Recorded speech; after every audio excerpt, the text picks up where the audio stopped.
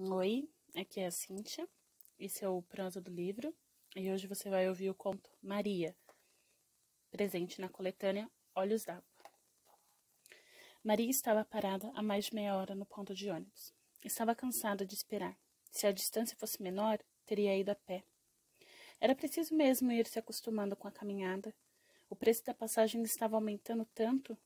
Além do cansaço, a sacola estava pesada.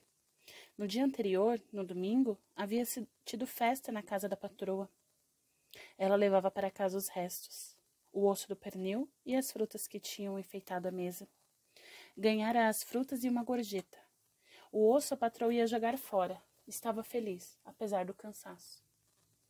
A gorjeta chegara numa boa hora. Os dois filhos menores estavam muito gripados.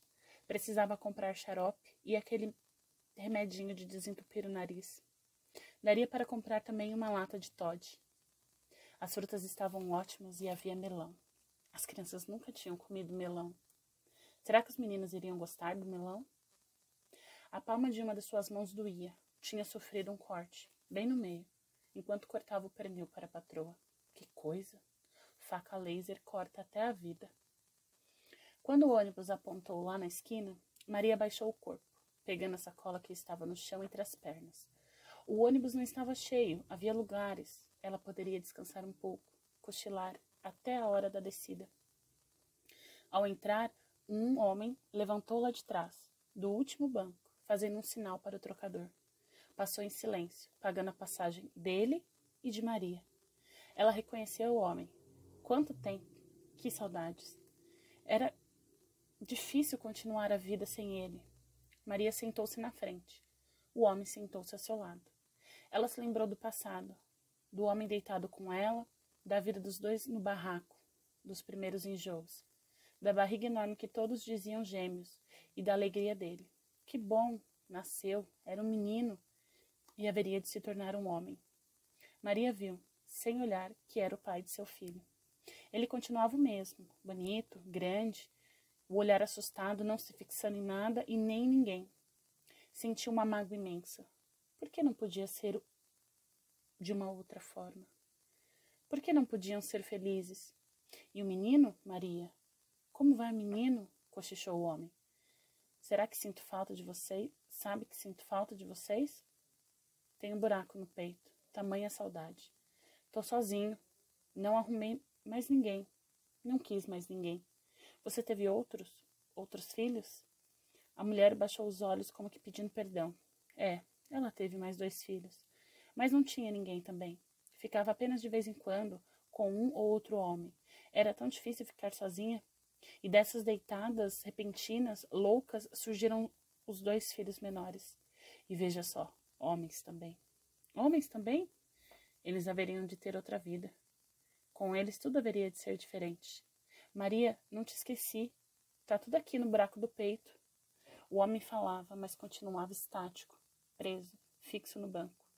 Cochichava com Maria as palavras, sem entretanto virar para o lado dela. Ela sabia que o homem dizia. Ele estava dizendo de dor, de prazer, de alegria, de filho, de vida, de morte, de despedida, do buraco saudade no peito dele. Dessa vez ele cochichou um pouco mais alto. Ela ainda, sem ouvir direito, adivinhou a fala dele. Um abraço, um beijo, um carinho no filho e, logo após, levantou rápido, sacando a arma. Outro lá atrás gritou que era um assalto. Maria estava com muito medo. Não dos assaltantes, não da morte, sim da vida. Tinha três filhos. O mais velho, com onze anos, era filho daquele homem que estava ali na frente com uma arma na mão. O de lá de trás vinha recolhendo tudo. O motorista seguia a viagem. Havia o silêncio de todos no ônibus. Apenas a voz do outro se pedindo aos passageiros que entregassem tudo rapidamente. O medo da vida em Maria ia aumentando. Meu Deus, como seria a vida dos seus filhos? Era a primeira vez que ela via um assalto no ônibus. Imaginava o terror das pessoas. O comparsa de seu ex-homem passou por ela e não pediu nada. Se fossem outros os assaltantes, ela teria para dar uma sacola de frutas, um osso de pernil e uma gorjeta de mil cruzeiros. Não tinha um relógio algum no braço, nas mãos nenhum anel ou aliança. Aliás, nas mãos tinha sim, tinha um profundo corte feito com faca laser que parecia cortar até a vida. Os assaltantes desceram rápido. Maria olhou saudosa e desesperada para o primeiro. Foi quando uma voz acordou a coragem dos demais. Alguém gritou que aquela puta safada lá na frente conhecia os assaltantes. Maria se assustou. Ela não conhecia assaltante algum. Conhecia o pai de seu primeiro filho. Conhecia o homem que tinha sido dela e que ela ainda amava tanto. Ouviu uma voz: Negra safada. Vai ver que estava de coleio com os dois. Outra voz vindo lá do fundo no ônibus acrescentou: Calma, gente. Se ela tivesse junto com eles, ela teria descido também. Alguém argumentou que ela não tinha descido só para disfarçar. Estava mesmo com os ladrões. Foi a única a não ser assaltada. Mentira! Eu não fui. Não sei porquê.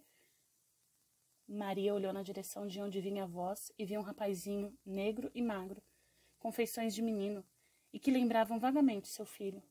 A primeira voz, a que acordou a coragem de todos, tornou-se um grito. Aquela puta, aquela negra safada estava com os ladrões. O dono da voz levantou e se encaminhou na direção de Maria. A mulher teve medo e raiva. Que merda! Não conhecia assaltante algum. Não devia satisfação a ninguém. Olha só, a negra ainda é atrevida, disse o homem, lascando um tapa no rosto da mulher. Alguém gritou: Leixa, leixa, leixa! Os passageiros desceram e outros voaram em direção de Maria. O motorista tinha parado o ônibus para defender a passageira. Calma, pessoal, que loucura é essa? Eu conheço essa mulher de vista, todos os dias, mais ou menos nesse horário. Ela toma o ônibus comigo, está vindo do trabalho, da luta para sustentar os filhos. Leixa, leixa, leixa. Maria punha sangue pela boca, pelo nariz e pelos ouvidos. A sacola havia arrebentado e as frutas rolavam pelo chão. Será que os meninos iriam gostar de melão? Tudo foi tão rápido, tão breve. Marinha tinha saudades de seu ex-homem, porque estavam fazendo isso com ela. O homem havia segredado um abraço, um beijo, um, um carinho no filho. Ela precisava chegar em casa para transmitir o recado. Estavam todos armados com faca laser que cortam até a vida. Quando o ônibus esvaziou, quando chegou a polícia, o corpo de Maria estava todo dilacerado, todo pisoteado. Maria queria tanto dizer ao filho que o pai havia mandado um abraço, um beijo, um carinho. Conceição Evaristo.